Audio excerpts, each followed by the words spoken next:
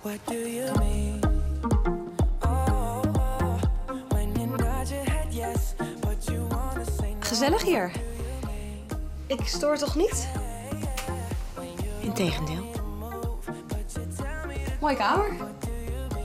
Ja, al kunnen we niet wachten totdat we een geschikt huis hebben gevonden. Ik wil heel graag wat met jullie doorpassen voor morgen. Eerst gaan we wat drinken.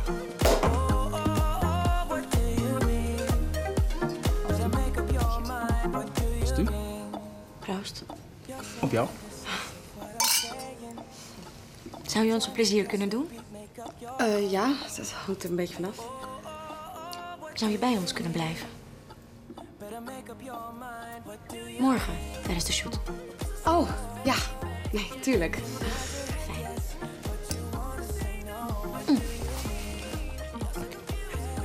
Wat eh, wil je als ontbijt? Dat kunnen we beter nu bestellen. Je blijft. Toch?